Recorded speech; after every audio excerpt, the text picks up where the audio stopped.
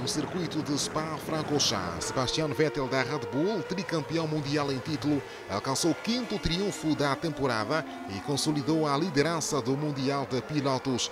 Vettel partiu na segunda posição da grelha, ao lado de Lewis Hamilton, e assumiu o comando logo nas primeiras curvas.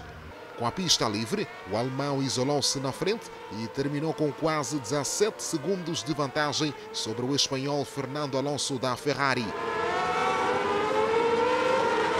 O pódio de campeões do mundo ficou completo com o britânico Lewis Hamilton ao comando de um Mercedes. Com o triunfo, Vettel passa a contar com 46 pontos de avanço sobre Alonso, a oito provas do final do campeonato. A vitória de Vettel e o quinto lugar de Mark Webber deixam a Red Bull Renault com 312 pontos, mais 77 do que a Mercedes AMG e mais 94 do que a Ferrari.